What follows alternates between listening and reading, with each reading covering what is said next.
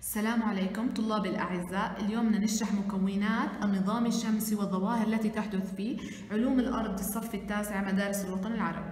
بالبداية قبل ما نتفصل نحكي عن النظام الشمسي شو مكوناته؟ إيش العمليات اللي بتصير فيه؟ لازم نعرف إشي شو يعني مجرة.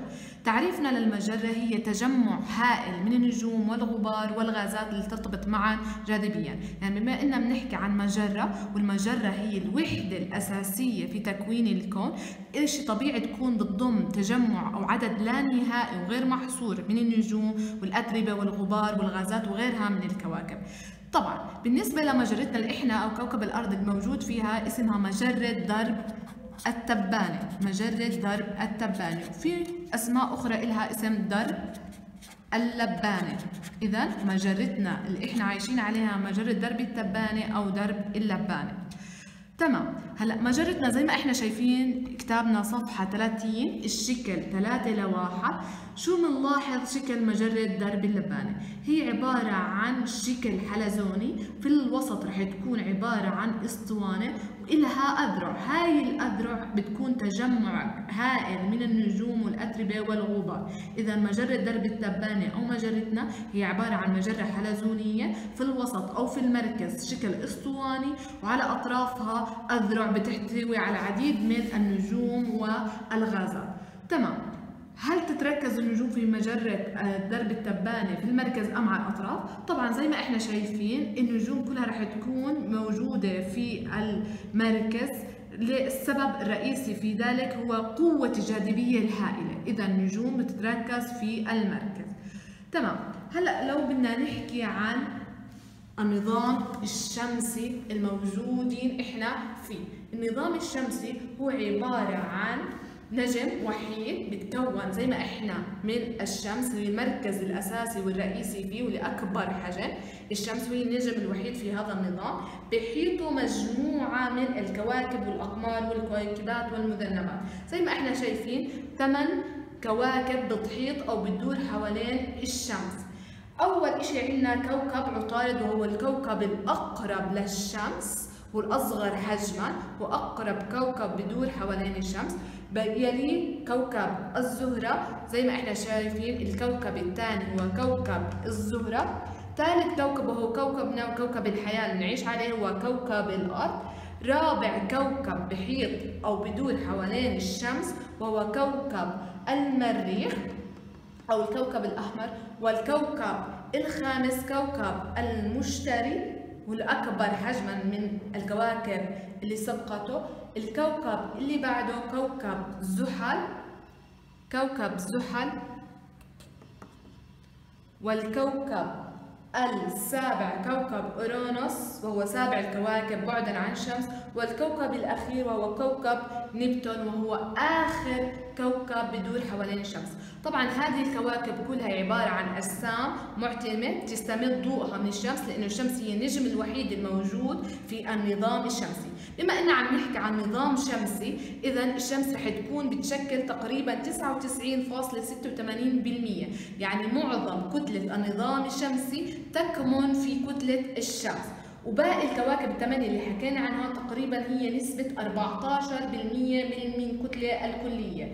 إذا النظام الشمسي بتكون من نجم وحيد وهو الشمس من ثمان كواكب معتمة بتستمد ضوءها من الشمس. كتلة الشمس المشكلة نظام شمسي 99.86% أما باقي الكواكب بما فيها من كويكبات وغيرها من المذنبات بتشكل 14% من هذه الكتلة. طبعا زي ما إحنا شايفين في عندنا عدة كواكب. أول أربع كواكب بنسميهم الكواكب الداخلية اللي هم عطارد الزهرة الأرض المريخ. المريخ هم أربع كواكب نسميهم الكواكب الداخلية أو الكواكب الصخرية. هلأ ليش سميناهم كواكب داخلية؟ لأنه أكثر أو أقرب أربع كواكب من الشمس. وسميت بالكواكب الصخرية لأنه معظم سطحها بتكون أو سطحها بتكون من صخور اللي هم عطارد الزهرة والأرض والمريخ ترتيب حسب ترتيبهم وبعدهم عن الشمس. شو خصائص هذه الكواكب؟ أول إشي بتتميز إنها قريبة من الشمس. اثنين زي ما إحنا شايفين كتير قريبة من الشمس مقارنة بالكواكب الأخرى.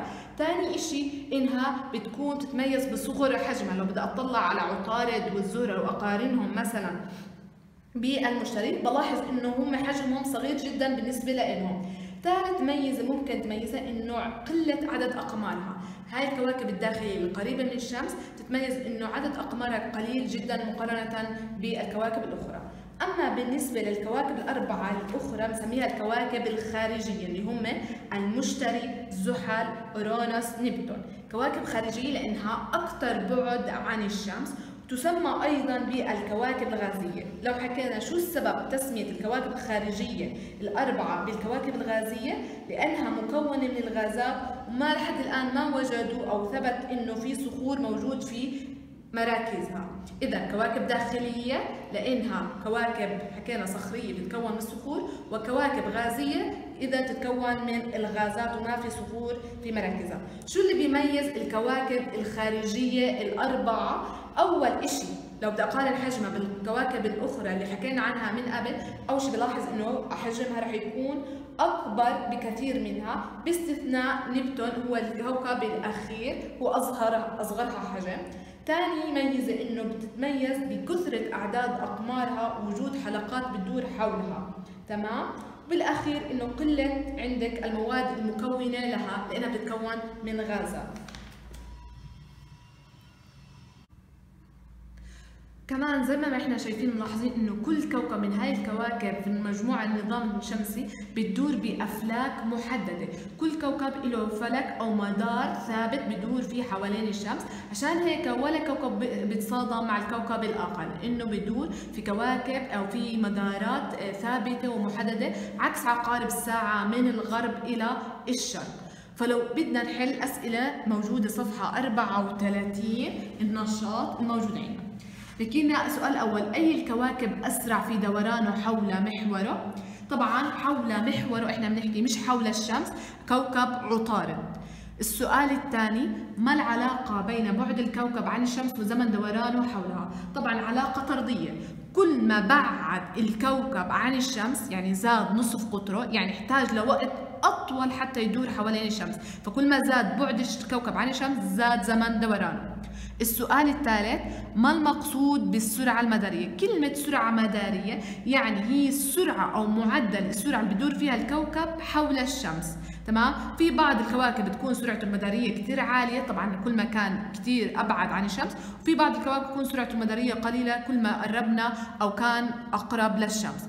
السؤال الرابع لماذا تقل سرعة الكوكب الكواكب المدارية كل ما ابتعدنا الشمس؟ ليش؟ لأنه كل ما ابتعدنا أو زاد بعد الكوكب عن الشمس قلت جاذبيته له فهذا بيؤدي إلى تناقص سرعة دوران الكوكب حول الشمس.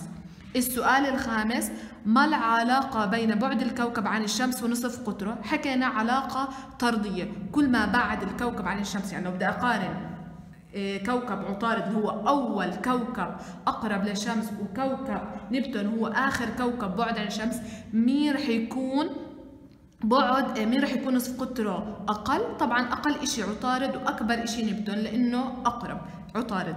السؤال اللي بعده السادس ما العلاقة بين بعد الكوكب عن الشمس ومتوسط درجة حرارة سطحه؟ طبعا علاقة عكسية كل ما بعد الكوكب عن الشمس كل ما كان أبرد أو درجة حرارته أقل.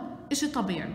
طيب السؤال اللي عندنا بأسفل الشكل ما شكل مدار الأرض حول الشمس طبعا مدار الأرض أو خلينا نحكي المدارات اللي بتدور فيها الكواكب رح تكون هي مش دائرية بشكل دقيق وإنما رح تكون إهليجية. نيجي نشرح للشكل الموجود صفحة 34 الشكل 3 ل 3 عندنا الشكل المدار اللي بتدور فيه الأرض حول الشمس. في عندنا منطقتين اللي اسمهم الحضيض والأوج. شو المقصود بالحضيض؟ شو المقصود بالأوج؟ أول زي ما إحنا شايفين إنه الأرض أقرب ما يمكن للشمس هاي بنسميها منطقة الحضيض. يعني عندما يكون الكوكب في أقرب نقطة للشمس بسميه الحضيض.